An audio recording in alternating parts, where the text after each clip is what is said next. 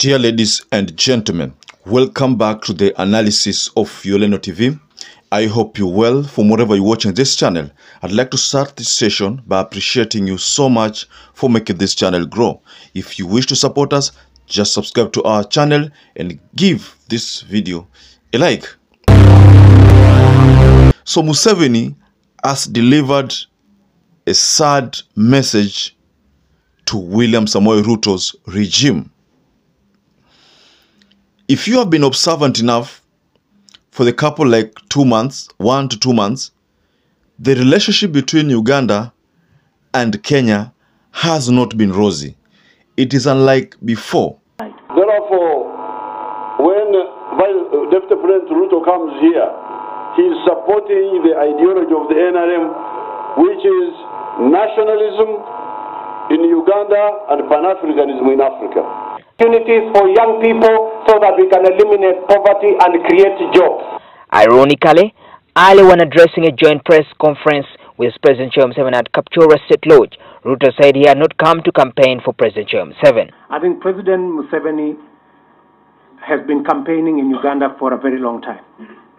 And he has sufficient experience. And he has uh, sufficient knowledge. I do not think he requires the support of Kenyans to campaign for him to be elected by the people of Uganda. when Museveni could frequent Kenya and uh, William Ruto could frequent Uganda. The latest remarks from the government of Yoweri Museveni is that it will cease reliance on Kenya for sourcing petroleum product, citing challenges occasioned by Kenya's government-to-government fuel deal with the Gulf. You see, this G2G, what you hear G2G, is government to government policy. That is, I think from what I understand, government to government is that the brokers have been eh, eliminated in the, you know, in that chain. They- They're not going to deal with uh, maybe petrol with oil dealers, but they are going to directly involve with the government in that Gulf country, probably if it's Saudi Arabia. So it's G to G, the government of Kenya to the government of that oil company.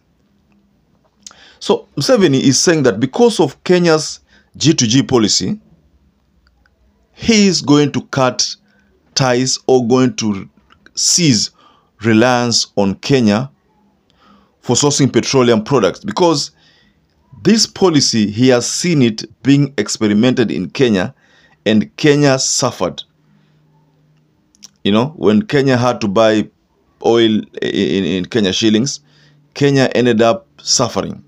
And that is why you find that mafuta iko bei iko sahihi.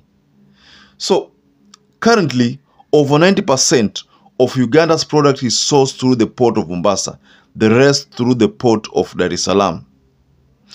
Museveni's administration now says Kenya's government to government deal has exposed the economy to occasional supply vulnerabilities where the Ugandan OMCs were considered secondary whenever there were supply disruptions. Uganda stated that these vulnerabilities posed additional challenges, resulting in Uganda receiving relatively costly products and ultimately impacting the retail pump prices. So on October 23rd, Uganda's cabinet uh, approved amendment of the Petroleum Supply Act 2003 through the Petroleum Supply Chain Bill 2023 and has transmitted the bill to Parliament for approval. So the government has effectively mandated Uganda National Oil Company Limited to source and supply the petroleum products to the licensed oil marketing companies. So this is a, a major blow to Kenya's economy because now that means Uganda will be dealing with the oil suppliers, I think directly, not through Kenya. First, again, it will avoid using the, Ken- the, the, the Kenyan Mombasa port. And this is going to affect the revenue of Kenya and the business to business, you know, bilateral uh, ties between these two countries kidogo inaenda chini na ni kama inaenda chini so i think uh, there is another move here which i see you know a move over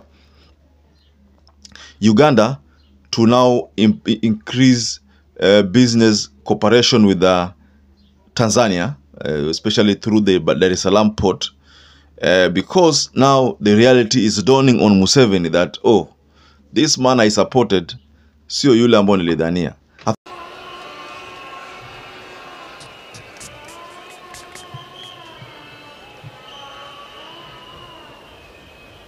Your Excellency William Ruto, I think that is the message that's lingering in uh, Yoweri Museveni's uh, mind right now. Or either Yoweri Museveni realizes that Kenya is working with the US.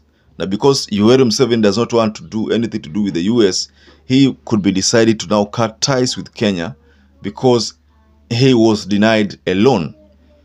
Yeah, you remember that uh, narrative we that that video we did here when Museveni was denied a loan by the world uh, the, by the World Bank just because of uh, the LGBTQ uh, policy that Uganda introduced. We did uh, an analysis on that. Uh, we don't want to go back to that analysis, but uh, the facts are there in the in our previous videos. So Museveni could have seen that ah, since huyu anafanya na US eh, wa, wa, wa, wazungu wale ambao wanampiga Museveni vita, basi let me cut ties with them. I will I will probably maybe engage the Gulf directly. So I think there is a move here. Of course, we know that uh, Uganda is a landlocked country. You know, they still depend on either Mombasa port or Dar es Salaam port. They will still depend on that. Museveni's uh, trade ties with Dar es Salaam port ama with Tanzania itapanda. Why? Because of the US influence on Kenya. I don't know whether you, you have a different mindset or different opinion to it, but that's my personal opinion regarding what I see in uh, Museveni's move. What do you think could be the case, ladies and gentlemen? Okay, uh, let's just wind up there, and uh, you can just go below the comment section and tell us what you think about Museveni's statement to William Ruto regarding cutting or with, regarding seizing reliance on Kenya for sourcing petroleum products. Now, to those who have not subscribed to this channel, I'd like to urge you to subscribe to this channel, give this video a like, and don't forget to hit the notification bell. And to those who have supported this channel by either subscribing, liking, or sharing our videos, I want to say here that I'm forever grateful for that support because without you, this channel cannot grow. So until you catch up again, please stay safe and stay blessed.